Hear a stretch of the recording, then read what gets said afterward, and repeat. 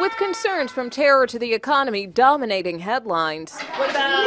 Education is still at the head of the class for many voters. Historically, education has been a really important issue. Policy expert Rick Hess on why it matters. People care about Social Security, they care about health care, they care about roads and bridges, uh, and they obviously care a lot about schools and colleges.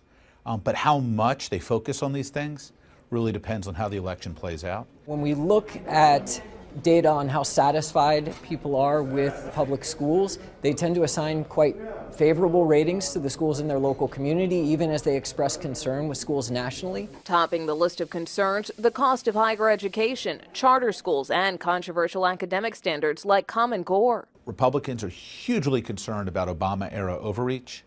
Uh, Democrats uh, have generally been lukewarm on it or split over it. Let me sign this bill. Something else to watch the rewrite of No Child Left Behind, signed into law by President Obama this past winter. That really should be where the conversation about education policy is taking place in the 2016 election cycle.